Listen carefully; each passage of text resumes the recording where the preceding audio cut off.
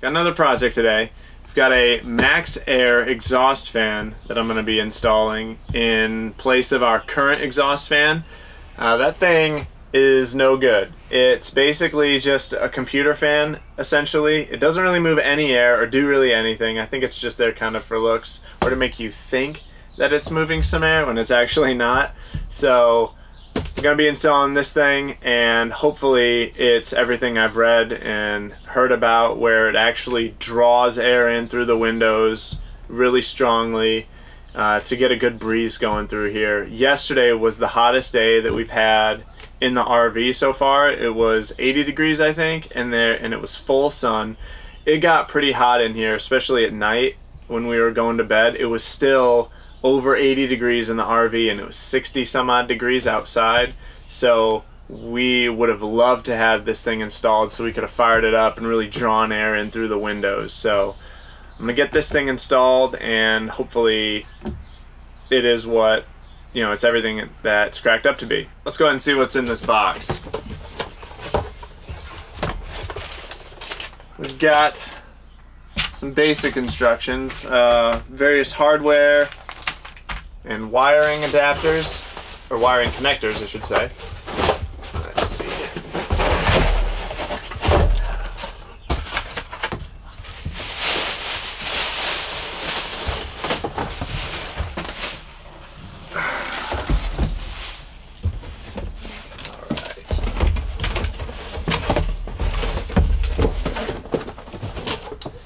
And in here we've got our basically the whole assembly right here.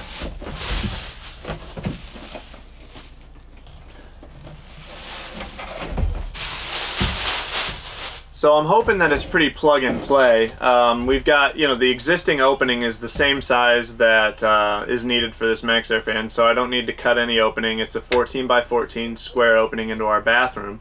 Um, so I should be able to just remove my current fan and opening and then drop this assembly in through the top. This is the whole fan assembly. Drop it in through the top and then come back in from the outs or come back in on the inside and place this um, kind of finished molding up through the top. I will have to cut this um, to you know make it the desired thickness that I need for our roof. But uh, yeah, that's really the only cutting I'll have to do is to this molding, um, you know, right here all the way around. So it should be a pretty pretty straightforward install. Um, I will have to do a little bit of wiring. I need to check the gauge of wiring that's being run to my current exhaust fan in there to see if it is a thick enough wire to handle the amperage that the MaxxFan's gonna draw. Hopefully it is so that I don't have to run any new wire and I can use that existing wire. That would be awesome. We went with the most basic MaxxFan. It was about $145. I'll drop a link into the, in the description to what we got. Uh, it's the manual open open type. It doesn't have a uh, remote, and you cannot run this one while it's raining. We just elected to go with this one um, just for you know uh, cost savings. Basically, we decided we didn't really need the frills of the you know really expensive option, which I think is over two hundred dollars. So um, yeah, we just went with the $140 option, and we think it's going to work for us. Alright, enough talk. Let's get to work. First thing I'm going to do before I get too far into this install is check to make sure that the opening for my roof vent is 14 inches by 14 inches.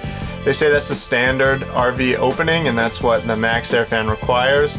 But I figure I'm gonna, you know, check that before I get too far in the install and realize I just wasted a whole bunch of time because my opening isn't even the right size. So I'm gonna go ahead and take off my existing uh, receiving flange on my vent and um, make sure that my opening is 14 by 14.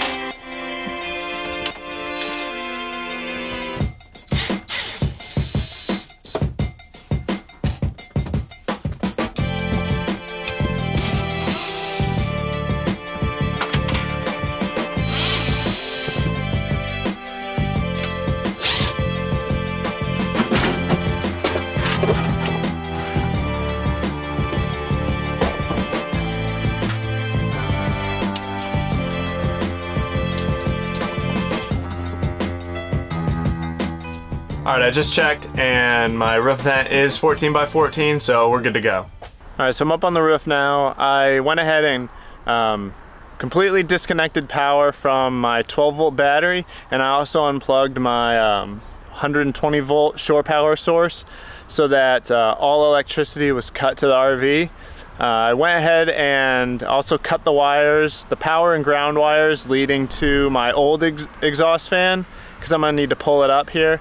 So um, to do that, I need to you know, peel away all the existing sealant all around the, uh, you know, that's holding the current exhaust fan down. So I'm gonna go ahead and do that.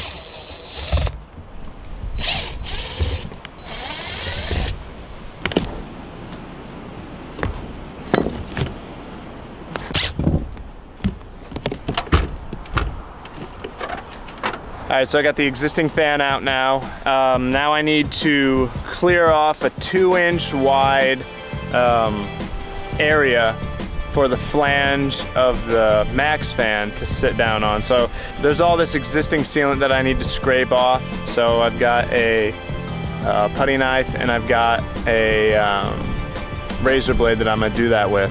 So I gotta get that cleaned off and then I can drop the MaxxFan in.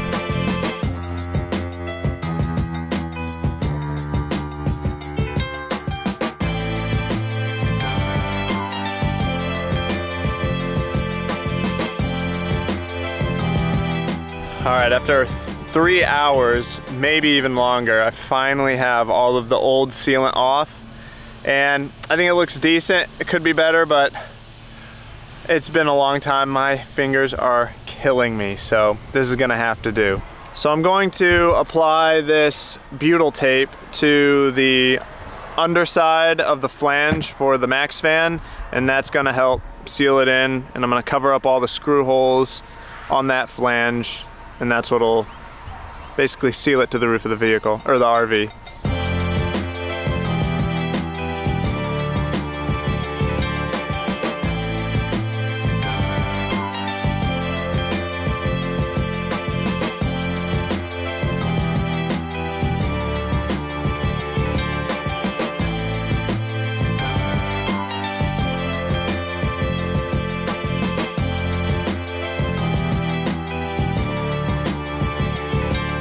Marked an outline of the flange with a pencil just so once I put that butyl caulk on the underside of that flange, you only get one shot. You know, once it's on, you know, you don't want to be picking it back up and setting it back down. So I'm going to set it straight down on that outline.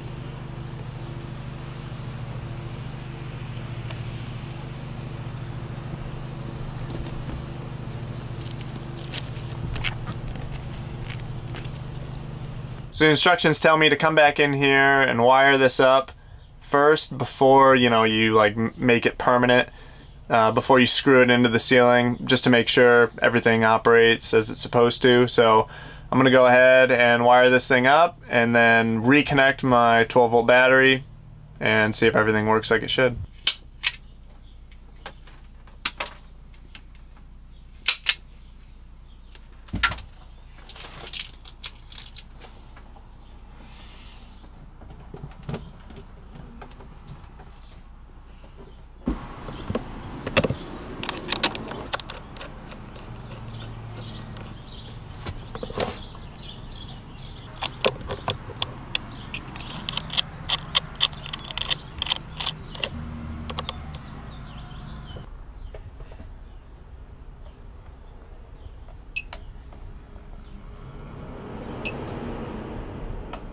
All right, awesome, it works. So back on the roof, screwing it down.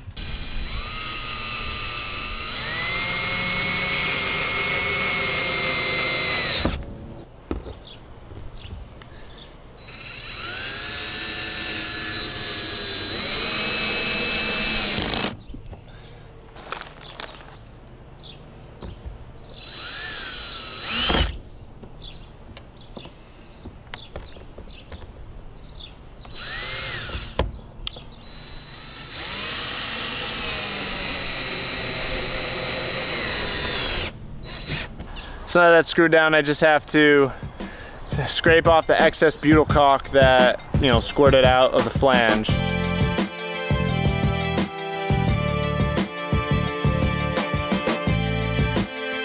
Okay, finally. The last thing to do here up on the roof is to um, put Dicor sealant over all of the um, hardware so all the screw heads are nice and sealed off and then provide, or you know, lay a nice healthy bead of Dicor all around the edge of the flange. And I'm finally done up here.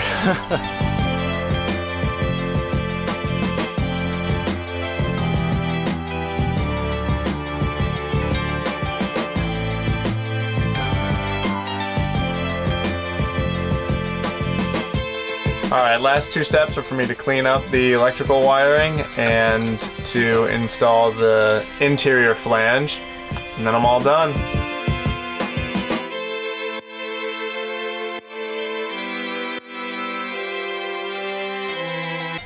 Now with that done, the final step is to put this uh, garnish ring, the instruction manual calls it, up in there. But first I have to measure um, the height or the distance from my MaxxFan faceplate to the um, roof opening and then add a half inch to a quarter inch to that and then that make that measurement on my garnish ring and then cut there. My RV roof is heavily sloped right here so I have to measure all four corners and then um, because they'll all be different and then make those markings on my garnish plate and then cut it to that size and then stick it up there and screw it in.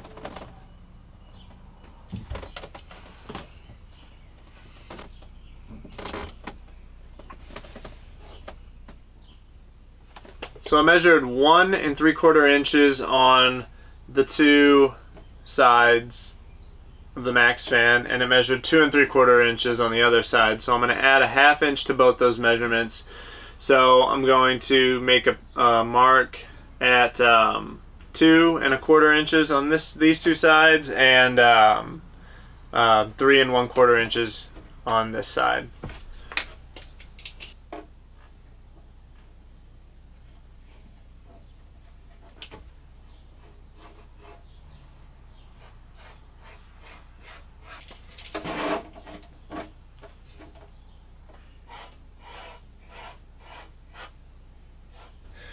Time to cut this thing.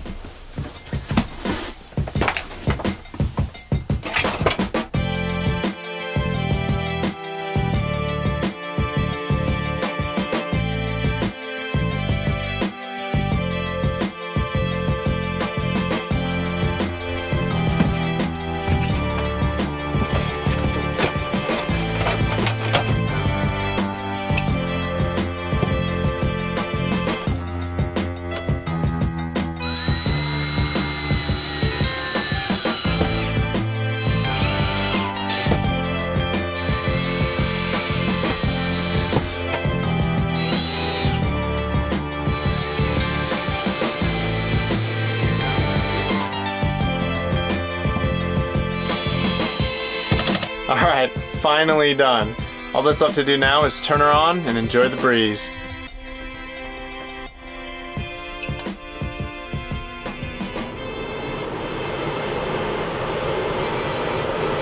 So that installation is completely done. It was really straightforward. The biggest problem was getting that old sealant off of the roof. That took forever. That took nearly three hours to do. My hands are just throbbing from using that razor blade to get that sealant off. My thumbs hurt so bad from pushing it, but I'm glad it's done. The MaxxFan is working great.